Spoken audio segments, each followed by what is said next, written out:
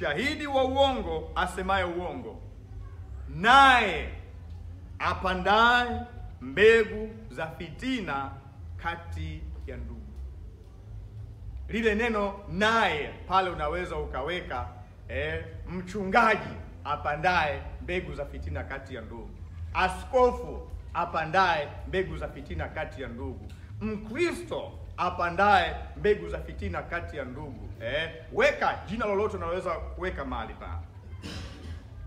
Ninakumbuka wakati tuna tunasoma tulikuwa na somo lilikuwa naitwa somo la siasa. Kwenye siasa tulikuwa tunajifunza ahadi za mwanatano, ahadi za mwanatano. Moja kati ya ahadi ya mwanatano ilikuwa inasema kwamba nitasema kweli daima, fitina kwangu ni mwiko.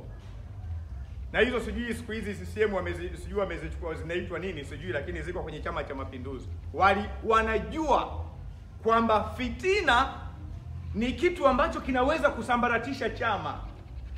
Kwa hiyo wakasema nitasema kweli daima, fitina kwangu ni mwiko.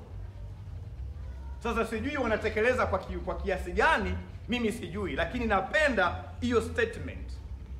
Mtu aliyoisema hiyo alikuwa rohoni kabisa, na bila shaka alichukua kwenye Biblia. Tunaishi ndugu zangu, katika ulimwengu ambao fitina inaonekana kwamba ni jambo la kawaida, jambo la kawaida.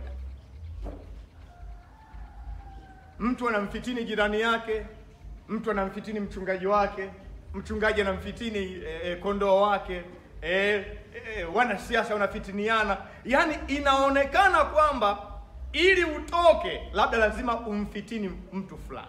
Yaani fitina imekuwa ni jambo la kawaida, hakuna hofu kabisa. Fitina unaikuta katikati ya watu wa Mungu, fitina katikati ya watu wa Mungu wanaonena kwa lugha, wanaompenda Bwana, fitina unaikuta hapa.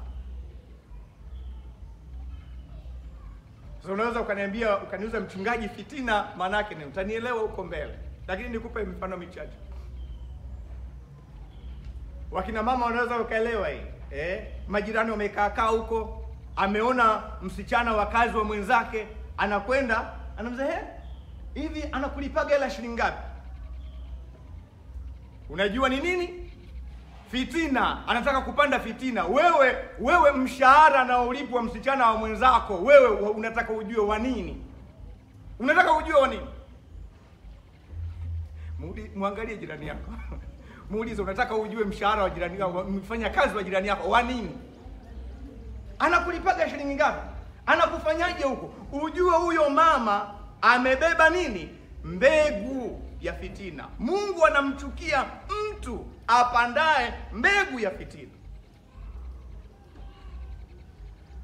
na anasema mtu, anaposema mtu, kama anawambia ana, pale yuko mchungaji yuko askofu, ni mtu huyo, yuko sijui mzee wa kanisa, ni mtu. Askofu anakwenda kwenye kanisa, anauliza wazee wa kanisa, huyu mchungaji, huyu mchungaji mambo yake yakoje, yakoje hapa? Furaha yake ni kuona mchungaji na wazee wa kanisa hawaelewani, kwa hiyo anapanda mbegu ya fitina, mtumishi wa Mungu.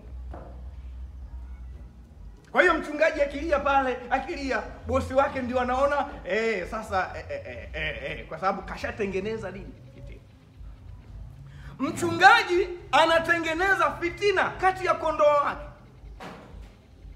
Mahali fulani mchungaji anamwambia kondoo wake moja, usiongee na fulani, yule ni Freemason yule. Na akitoka pale na kwenda kwa yule anamwambia huyu ni Freemason. Kwa hiyo kwa hiyo anatumia mbinu ya kishetani ya divide and rule ili uweze kuwatawala watu. Kwa hiyo unawagawa namna hii. Kwa hiyo kila mtu akimwona mwenzake anamuogopa, anamuogopa. Kwa sababu gani? Hasa imagine ni mchungaji lakini amebeba mbegu ya fitina, mbegu ya fitina. Mchungaji lakini mahubiri yanayotoka, mahubiri yanayotoka yamejaa fitina tu. Unataka kujua kwa namna gani? Anasema kuna watu hapa walikuwa wanataka kuolewa na watu wafupi, lakini akapata mwanaume mrefu. Ndio maana ndoa yako ina shida wewe, ndio maana ndoa yako ina shida, kwa sababu mume uliye naye sio uliyomtaka. Ulimtaka mfupi, umepewa mrefu. Alafu jitu jinga, ile mbegu ya fitina imeshaingia, sema ni kweli, lakini matatizo haya nayoyapata ni kwa sababu sikutaka mwanaume mrefu mimi. Fitina anarudi nyumbani, fitina imetoka. akiliangalia ni mwanaume sema ili sio nilolitaka hili Eh, ili sio nilolitaka hili. Fitina, fitina, kwa sababu amepata aina ya mahubiri ambayo mbegu yake ni nini? Fitina. Kwa sababu ndugu zangu, tunajua ndoa ni chombo ambacho kimebeba makusudi ya Mungu.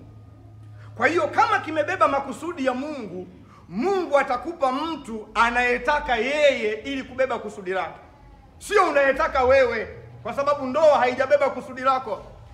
Kwa hiyo kama ulimtaka mfupi, Mungu anajua kusudi limebebwa na mrefu, atamleta mrefu, wedha unataka au utaki.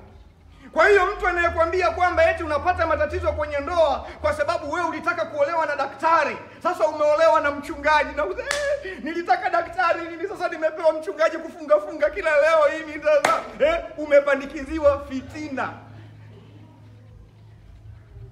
Sijui sijui kama tuko tuko vizuri eh? E, Fiti na, na na na mtu mjinga inamkoroga kweli, inamkoroga kwa sababu mahubiri yaliyohubiriwa, shetani ameweka mbegu ya fitina. Mungu anasema hivi, anamchukia mtu anayepanda mbegu ya fitina kati ya, wa, ya ndugu kati ya ndugu. Maana yake mahubiri yangu yawe ya kuwafanya watu wawe pamoja na kumjua Kristo, yabebe nia ya Kristo, sio ku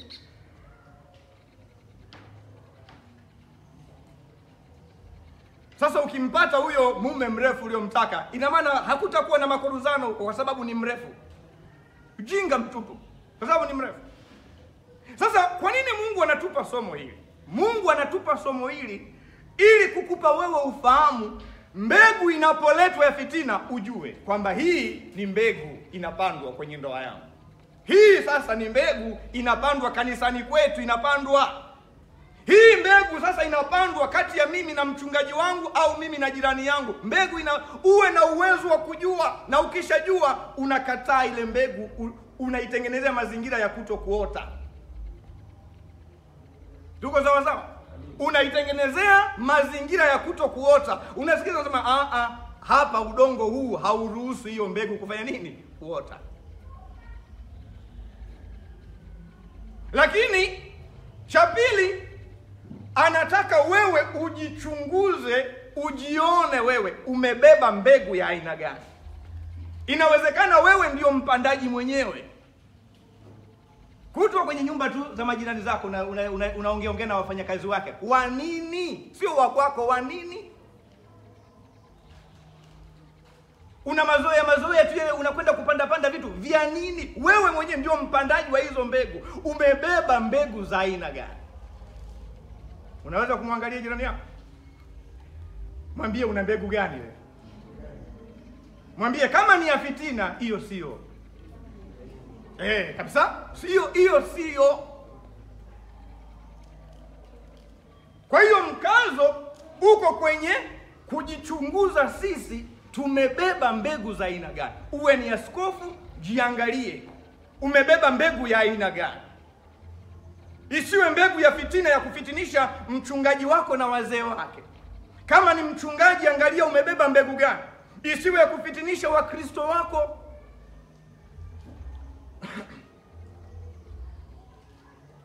Mungu hamchukii mtu apandaye mbegu, bali Mungu anamchuki, anachukia aina ya mbegu ambayo mtu anapanda.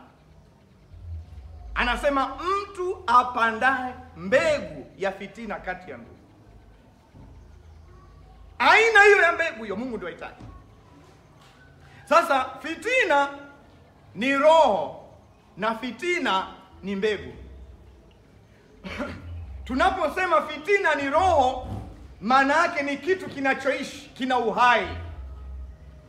kinatembea tembea tu, kinatembea tembea, kinataka kinataka kitekeleze, kionyeshe ule uhai wake. Ndio maana nimesema fitina inaweza ikabebwa na askofu, fitina inaweza ikabebwa na mchungaji, fitina inaweza ikabebwa na mzee wa kanisa, inaweza ikabebwa na Mkristo. Yenyewe ni roho, inatembea tembea, ina uhai, ina uhai, ina uhai.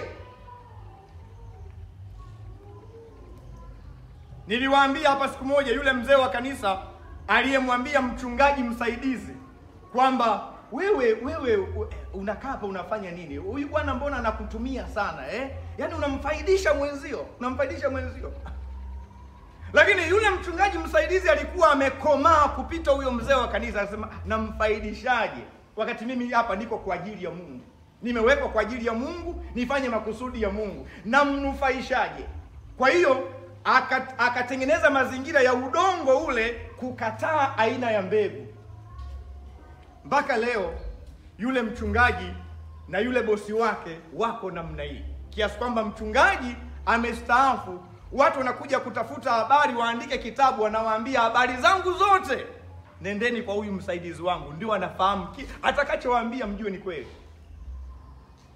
Kwa sababu gani? Alikataa mbegu ya fitina aliitengenezea mazingira ya udongo kwa kwamba hiyo isiote hapo, na haikuota, haikuota. Kwa hiyo fitina ni roho, lakini fitina ni mbegu. Isipokuvaa namna hii kama roho, inatenda kazi kama mbegu, imepandwa, inasubiri kugerminate, alafu yote namna hii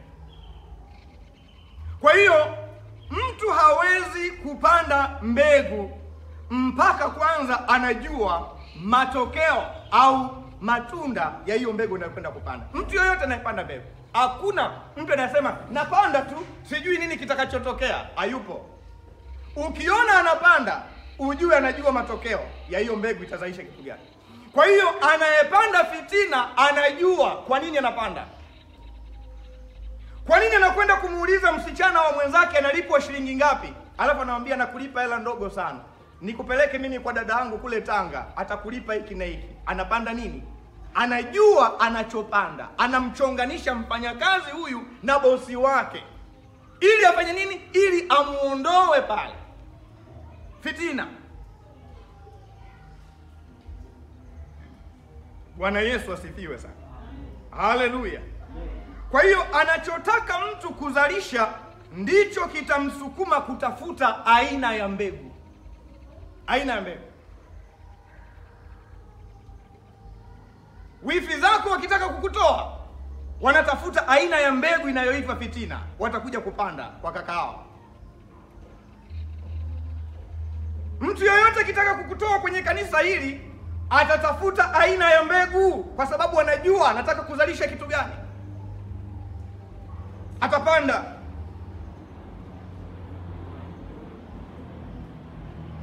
Bwana Yesu asifiwe sana.